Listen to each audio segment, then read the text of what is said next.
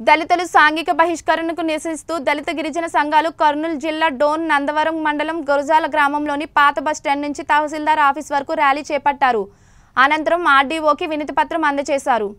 DHPS కొమ్మ ప్రభాకర్ అధ్యక్షతన జరిగిన ఈ కార్యక్రమంలో కాంగ్రెస్ పార్టీ నంద్యాల పార్లమెంటు జిల్లా ప్రధాన కార్యదర్శి గార్లపాటి మద్దిలేటి ఎంఆర్పీఎస్ నాయకులు గంధం శ్రీనివాసులు మాట్లాడుతూ కర్నూలు జిల్లా నందవరం మండలం గురజాల గ్రామంలో దళితుడైన ఫిజియోథెరపిస్ట్ అరకెట్టి బుడ్డనను అదే గ్రామానికి చెందిన అమ్మాయిని కులాంతర వివాహం చేసుకున్నాడు అనే కారణంతో అదోని పట్టుపగల అంత కిరాతకంగా చంపారని ఆ నెత్తిటి మరకలు ఆరకకు ముందే కుల ఉన్మాదంతో ఆధిపత్య వర్గాలన్నీ ఏకమై దళితులను అనేక రకాలుగా అవమానిస్తూ వచ్చారని ఆరోపించారు. దళితపేట నుండి బహిర్భూమి కోసమని సహజంగా బయటకు వెళ్ళి యువకులను తమ వీధుల గుండా తిరగరాదంటూ అడ్డుకోవడంతో పాటు అన్నం తిని కడిగిన ప్లేట్లను ఇంట్లో నుండే దళితులపైకి చెల్లి అవమానించారని అన్నారు.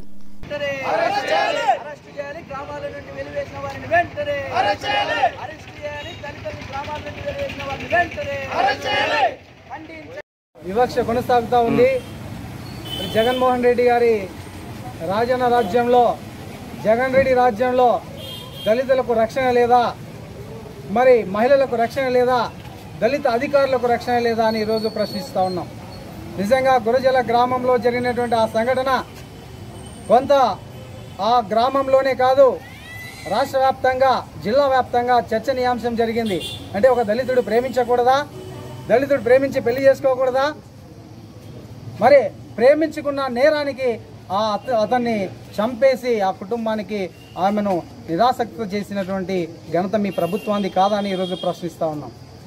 నిజంగా ఆ రోజు జరిగినటువంటి ఆ ఇన్సిడెంట్కు అందరూ చేయడం నిజంగా నేరం. ఖచ్చితంగా ఆ కుటుంబానికి రక్షణ కల్పించాల్సినటువంటి బాధ్యత ప్రభుత్వం పైన ప్రభుత్వ అధికారుల పైన ఖచ్చితంగా ఉంది. కాబట్టి ఆ ఆ యొక్క గ్రామాన్ని సందర్శించి అధికారులు కావచ్చు లేకుంటే ప్రభుత్వం కావచ్చు అధికారులు ఎస్పీ కానీ కలెక్టర్ కానీ ఆ గ్రామాన్ని సందర్శించి వాళ్ళకి రక్షణ కల్పించి యొక్క సాంఘిక దురాచారాలను రూపుమాపాల్సినటువంటి అవసరం ఉంది. మరి యొక్క రాజన్న రాజ్యం ఎస్పెషల్లీ జగన్ రెడ్డి రాజ్యంలో మీరు ఏం చేస్తున్నారు? ఒక డాక్టర్ మాట్లాడితే అతన్ని చంపేశారు సుధాకర్ని. ఒక జడ్జికి రక్షణ లేదు. ఆ జడ్జిని కూడా ఇంకా జైల్లో వేశారు. మరి అదేవిధంగా ఒక కలెక్టర్ అందరి సామాన్యుల పరిస్థితి ఎంతవరకు వచ్చిందో మీ యొక్క రాజ్యంలో ఒకసారి ప్రశ్నించుకో. రాబోయే కాలంలో దళితులు తిరగబడే రోజు వస్తుంది. దళితులు తిరగబడితే ఏ రాజ్యాలైనా కూలిపోతాయి.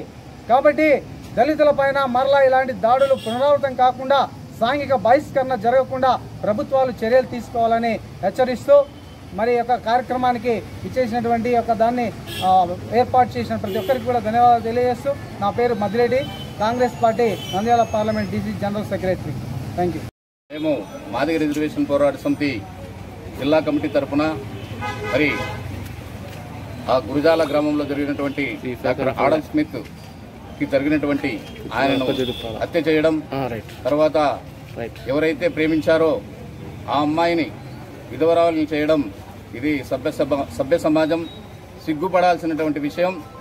మరి ప్రభుత్వం వాళ్ళని అరెస్ట్ చేసి వాళ్ళకు రావాల్సిన నష్టపరిహారం అందించినా కూడా మరి గ్రామం అంతా కలిసి ఆ గ్రామంలో ఉన్నటువంటి సర్పంచు అదేవిధంగా వాళ్ళకు ఒత్తాసు పలుకుతూ మరి చెన్నకేశ్వరరెడ్డి గారు ఎమ్మెల్యే గారు మరి ఎంత దురదృష్టకరమైనటువంటి విషయం అంటే ఇది ప్రజాస్వామ్యమా నియంతృత్వమా మరి ఆలోచించుకోవాల్సినటువంటి అవసరం ఉంది.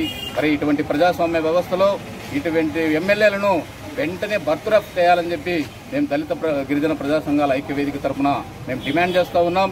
మరి ఒకవైపు ఒకవైపు గురుజాల గ్రామంలో మొదటి మాదిరిగా శాంతి భద్రతలు నెలకొల్పే వరకు మేము మా పోరాటం ఒకవైపు కొనసాగిస్తూనే అదేవిధంగా చెన్నకేశ్వరరెడ్డి గారిని బర్త్రఫ్ చేసే వరకు కూడా మేము దళిత గిరిజన ప్రజా సంఘాల ఐక్య వేదిక తరఫున పోరాటం అని చెప్పి ఈ సందర్భంగా మేము విజ్ఞప్తి చేస్తూ మరి అదేవిధంగా ప్రభుత్వం వెంటనే మరి సాంఘిక సంక్షేమ శాఖ మంత్రి గారైతేనే మరి అదేవిధంగా హోమ్ మినిస్టర్ గారైతేనే వెంటనే స్పందించి మరి ఆ గ్రామాన్ని సందర్శించాలి.